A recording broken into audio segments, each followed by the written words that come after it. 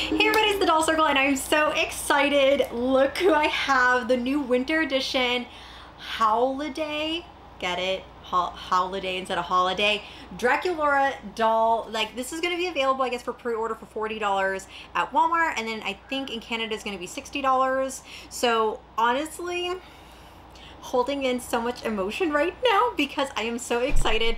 I grew up loving holiday Barbies, obviously throughout the 80s, 90s, into the 2000s, and to now. And it is so cool to see a different line from Mattel show off a holiday doll because I feel like it's always Barbie. I feel like Barbie always has a holiday doll, or sometimes you do see the Disney princesses, of course, do holiday dolls too, but not not as much as like you know like when you think of holiday dolls i always think of barbie. I don't know it could just be me because obviously i grew up with barbies. So i'm really excited that monster high is doing something a little different giving us a little new flavor of a holiday themed doll. So in the box it has the logo here in the middle which i personally don't like. I think the logo should have been right here because I feel like it cuts her outfit in half. Does that look weird to anybody else? Do we think this looks weird? I think this looks weird. I would have rather had the holiday logo here so that you can show off the doll better. There is snowflakes all around. As you can see, look at the little snowflakes. Um, we're gonna obviously take the doll out of the box. So we'll check the hair out closer detail here in a second. So on the side, it has more snowflakes, spider webs going down the side, and then the back we have images of her. Now this is a G1 molding to the doll versus the G3 stuff. Um, honestly, I, I think she's so beautiful. Like, uh, I, I can't even describe it to you. I'm just so excited because when I saw they were doing like a holiday themed doll, I was like, are you serious? Like, what? Hello. I love what they did on the back. The box is really good. If you are an inbox collector, it is a rectangle simple shape, so it's easy to stack up if you have a whole wall of dolls. I'm honestly like again, I know I just sound like all over the place. I'm just so excited about this doll. I think it's just so beautiful. I love the whole little theme to it. I love the colors to it. I love that there's little skullettes in the snowflake right here. It does say winter edition down at the bottom.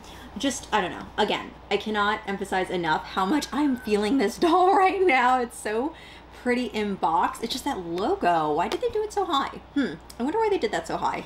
It is bothering me a lot. And I just love how she's like walking off on this side and looking straight off on this side. She's really pretty.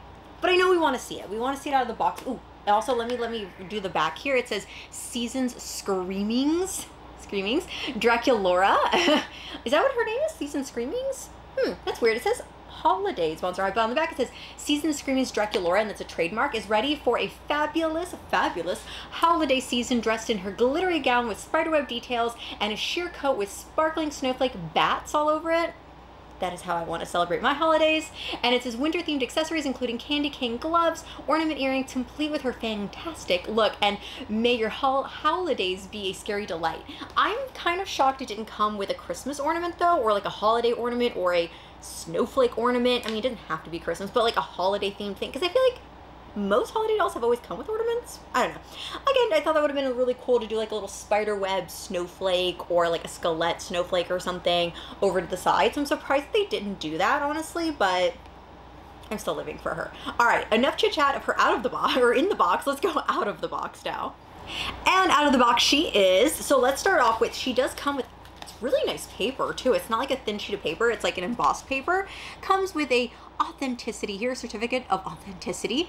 And it says obviously winter edition, holiday, Monster High doll on there. And it says this certifies the Joe Monster High Howliday winter edition doll to realize through the collaborative efforts of designers at and artists at Mattel.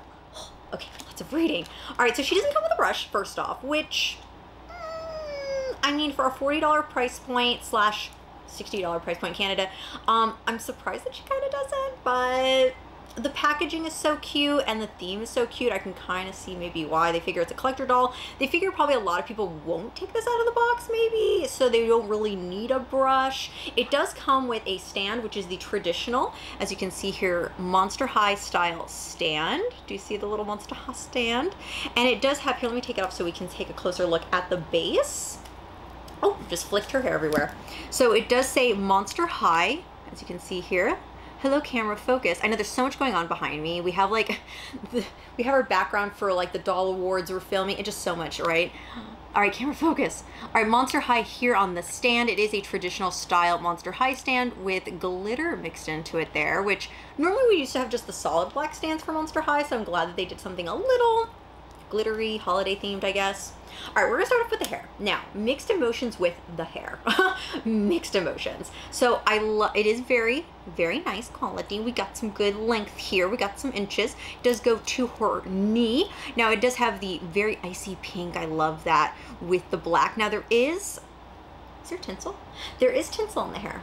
I don't know how I feel about that. I know a lot of people who restyle hair doesn't like the tinsel. So there is some tinsel in there. It's not a lot, and honestly, you could take it out if you don't like it. But there is a little bit of that. And in box, it looks good because from far away, she has a little bit of that sparkle. So that I don't mind it in box. Out of box, I'm like, eh, I'm kind of torn with the, the tinsel. Like sometimes, sometimes I love it and sometimes I don't. I feel like mermaid dolls, it looks cute, but I don't know.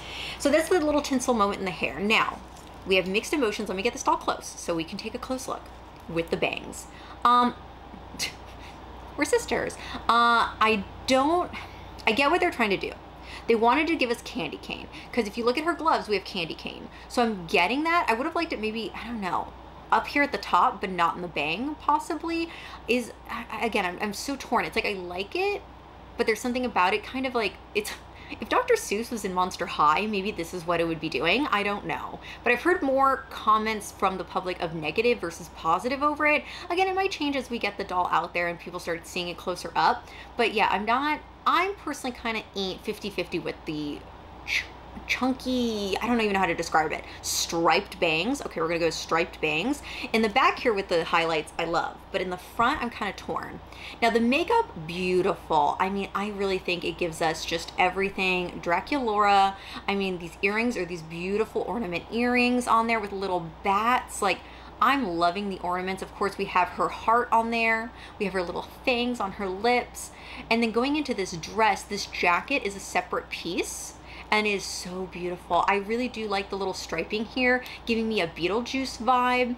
A lot of detailing into this. The cobwebs, the belt, the I love how high this is here, and this is a plastic piece, not a metal piece, but plastic, but a plastic upper piece.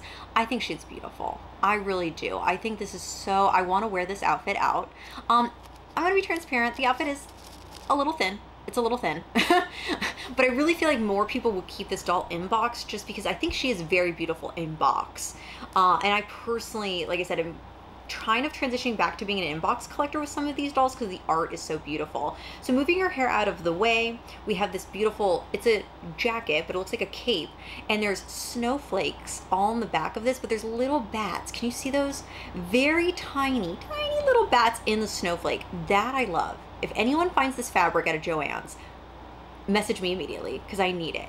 And the bottom has cuts to it, kind of bat-like. I would have liked to have at least one more layer. I feel like one layer is a little thin, but overall still beautiful though. I'm still, I don't know what it is.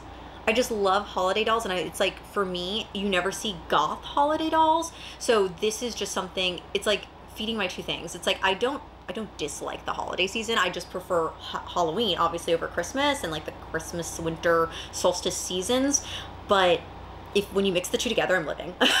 I'm living. So her boots in the front are a little basic. All right. At first, I was kind of like, oh, they just gave her a little boot that kind of looks like the stand. But when you flip it over, look at that. Oh, I love the little heart design back there, snowflake. I can see Hection painting this I feel like he would do a great job painting these. I just don't, I feel like they're a little, I, I would have liked them to have a little bit of paint on the back. A little bit, just a little, a little bit of paint, not a lot, you know, just a little detail on the back there. And then uh, the one thing I do really love, if you look at her hand, these are separate gloves. So if you don't like the candy cane look and you want to maybe reroot her hair, you can definitely take her gloves off because they are separate. And look, they go into her finger. There's a little loop that goes into her finger. I love that detail. That's really nice. I like that they gave us that little bit of extra. And then, oh, I forgot to show you the headpiece. Let's zoom in here. It's a little like, it looks like a crown, but it's like a goth snowflake crown. Living for it. I think it is so cute. Her hair, like I said, is very, very soft. I do like the overall theme style to it. And like I said, this jacket does come off. So if you don't like the jacket or the belt, you can remove all the pieces separately. So it's gloves, belt, upper choker piece, um, and then the jacket. So then she just has basically a tiny little like spiderweb cocktail dress. And then it, this part doesn't look as like holiday-like. I don't know. I for forty dollars, if you find her on the pre-order or if you get her randomly in a store, because I feel like they will be showing up in Walmart's eventually going into the holiday season. Um, if you look at Barbie, for example, Barbie's forty dollars for the Christmas Barbie, and if I had to compare the two, this so much more elevated than the Christmas Barbie. I can't say anything because I did get the Christmas Barbie this year, mm, but it sucked me in. Okay, I'm back into buying my holiday Barbies, but this one just I feel like has so much more. Um, especially like you know, like I said, the stand obviously giving us the traditional Monster High, and if we you know if anybody out there likes the older style of Monster High vibe, this is definitely giving us that. She has the same type of articulation at the knees, obviously the hands and the wrists, and obviously into the shoulders. Mean, it's giving us what we loved from Monster High before for like the collector uh, in all of us, you know, from the first wave but also giving us a little bit, I can kind of see a little bit of the modern G3 in here, but not that much. You know what I mean? Like it's kind of a little blend of everything. I think it's totally worth it. I feel like if you're either a holiday collector or a Monster High collector, I feel like anybody who's a Monster High collector is going to want to get this because it's A, the first holiday doll, and then also, how often do you see a goth holiday doll? Not that often. Probably never. Have I ever seen one? I don't know send me DM me pictures if you have seen goth holiday dolls because now that's going to be a thing that I'm going to need in my life. So let me know in the comments what you think of this doll. I really love it. I'm so glad to have it. I think it is just so beautiful and just like I said, her makeup is just everything. And if you want to watch more content from me, check out the links in the description below. I've got everything from Instagram, TikTok, obviously here on YouTube, and everywhere else that there's a social media page on. And like I said, I just hope you don't get overwhelmed with all of my Monster High content that will be coming out because there's so much Monster High coming out this season and expect reviews of all of it. all right, until next time, let me know what you think of the new Winter Edition doll. I love her. Oh, I want to look like her. I'm going to try to see if I can get this outfit. Let's see what we can do, all right? Until next time, bye!